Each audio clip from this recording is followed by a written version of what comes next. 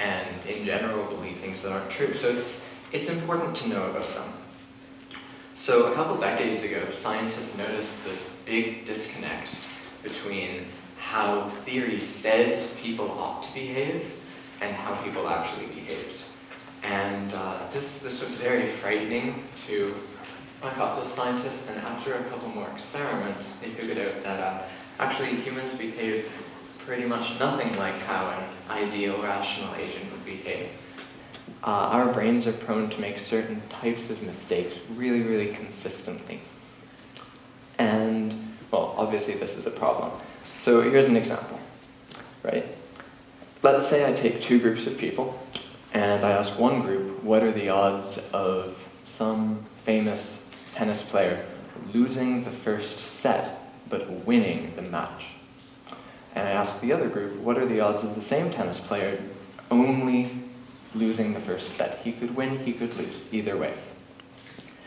Uh, reasonably, you would think that the odds of a more specific event occurring would be less likely, right? Because obviously to, to lose the first set and win the match, you have to lose the first set first, right? So you would think that the group that was asked the probability of the more specific event would say that it is less likely. In fact, that is not what happens. The opposite happens. In general, people think that more complicated things are more likely to happen. So that's odd. But that is not the only cognitive bias that humans face. So here's another.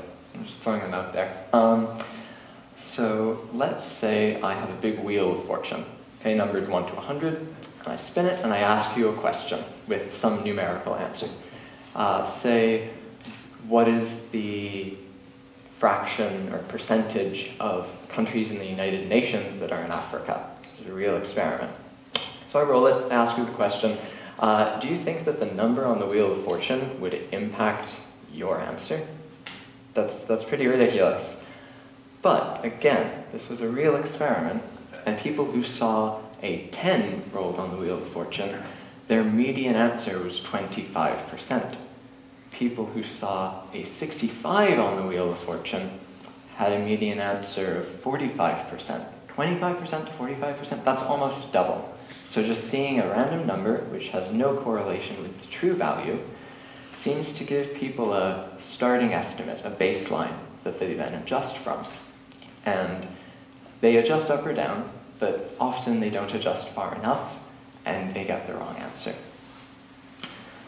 So, I mean, clearly, this is pretty big, and um, but like, why? Why do these happen?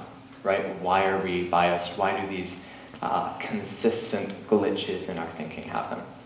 So you, you can sort of blame this on evolution and constant optimization, but in general, if there's a really long, arduous, tedious way to do a task, and a very quick way to do the same task, which is maybe not always right, but usually right enough and it doesn't fail too often, and again, super quick, then typically the brain will opt to go for the quicker solution, right? You need to be able to recognize that panther jumping at you instantly, right? So the problem is that even if these shortcuts are really, really good in general, sometimes they fail, and they fail in consistent situations, and these failures are what, can, uh, what cause a lot of cognitive biases. But again, uh, sometimes uh, these rules of thumb, right? These, they're called heuristics, these shortcuts, they make sense to use, right? Like if um, someone gives you a starting estimate for the Wheel of Fortune, if someone gives you a starting estimate for some value and asks you to estimate the real value, you know, it's going to be, your answer is probably going to be close to their estimate. They've probably put some thought into it. And if it's not, and they're wrong, and you answer something close to their estimate, and you're wrong as well, then you're both wrong, so you have an excuse. Similarly, for the tennis player, if someone can tell you a lot of details about an event, that it doesn't always mean that the event happened, but it certainly makes it more convincing. So somehow our brain then takes the shortcut that more details means more likely, and so we end up with these weird situations where people think that significantly more uh, specific events that in reality will probably never happen, happen more often than more general events. This is how people sell insurance. Um, yeah. So, I mean, clearly this is a big issue, but it's, it's actually not just a big issue, it's a massive issue, and it's worth amping up because not only do individuals uh, make, well, make important decisions and uh, are affected by these biases when they make those decisions, but uh, you know, so do, so do important people. So do people making decisions that will impact potentially millions and billions of people's well-being.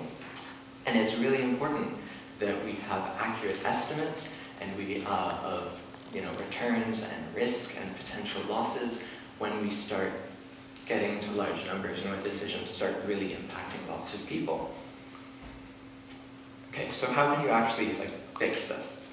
Right? Well, I mean, you can look up the full list of uh, cognitive biases. There's a great one on Wikipedia. Um, it is over a hundred entries long.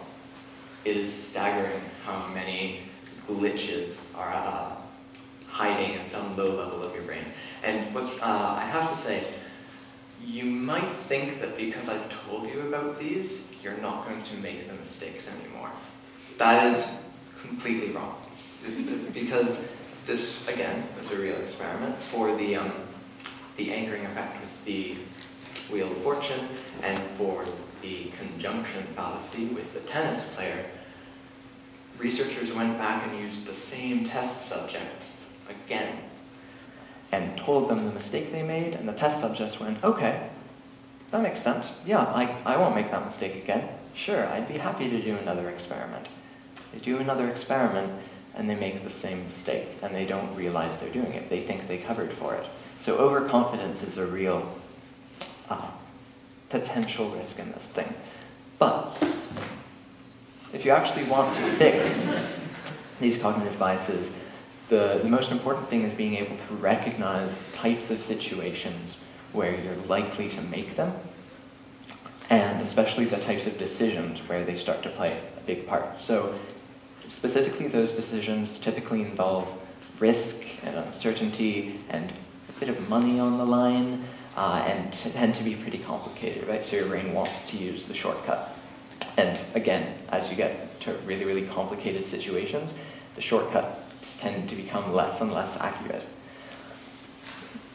So I can actually teach you about uh, one cognitive bias and how to alleviate most of it.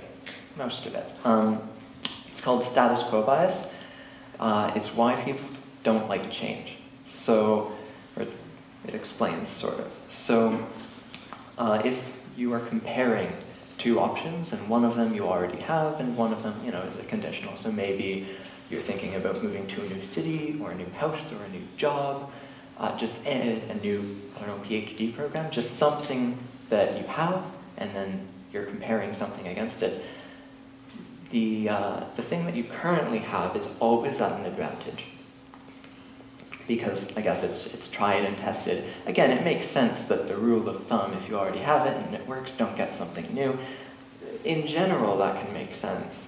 But in specific cases, this, this irrational fear of change can cause people to miss opportunities that could potentially improve their lives for the better. So here's how you fix it.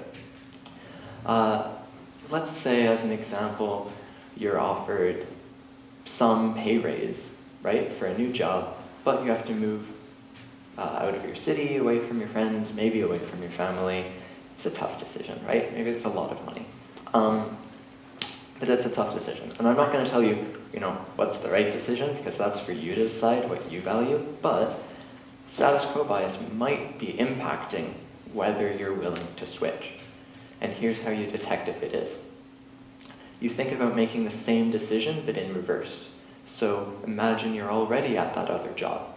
Would you want to switch back? Would you want to lose that pay, right? Take that pay as a decrease, but for the benefit of moving back with your family and your friends and hometown, whatever, maybe you would, maybe you wouldn't. But the point is, if you are not willing to switch one way and you're not willing to switch the other way, that's usually a sign that you have to put a little bit more thought into that particular decision before you go forward. Okay, so you know how to fix one. But again, there are hundreds of these. Um, a lot of them are very difficult to fix. Only recently has there been a large trend of uh, researchers actually trying to figure out how to fix them rather than just getting a list of hundreds of them, which just are there and we have to work with.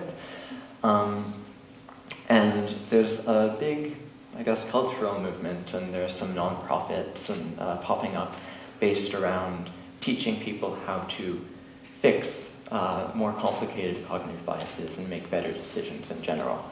So, I mean, I think that's pretty interesting. And I think that it's worth it for everyone to look, uh, a bit of research into cognitive biases and figure out the, the ones that can commonly affect